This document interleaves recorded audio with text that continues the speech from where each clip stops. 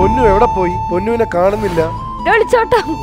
ഇപ്പോഴും എനിക്ക് അറിയില്ല മക്കളായിരുന്നു എന്റെ ലൈഫ് അതൊരു നിമിഷം കൊണ്ട് തകർത്തപ്പോൾ അന്നത്തെ ഒരു ഇമോഷനിൽ ഞാൻ എന്തൊക്കെയോ പറഞ്ഞു പോയി വീഡിയോയിലൂടെ. മൊത്തം ഇപ്പൊ യൂട്യൂബിൽ നിന്ന് ഭയങ്കര ഒരു തിരിച്ചടികൾ മേടിച്ചുകൊണ്ടിരിക്കുകയാണ് എന്നിട്ടും നിങ്ങളെ തിരിച്ചു വിളിക്കാൻ അവർ കാണിച്ച ആ മനസ്സ് എന്ന് പറയുന്നത് സോറി ബസിംഗ ഫാമിലി ഫെസ്റ്റിവൽ. ഞായറാഴ്ച വൈകുന്നേരം ആറ് മുപ്പതിന്. ഇപ്പോഴും എന്റെ വീട്ടുകാര് എന്നെ അക്സെപ്റ്റ് ചെയ്തിട്ടില്ല.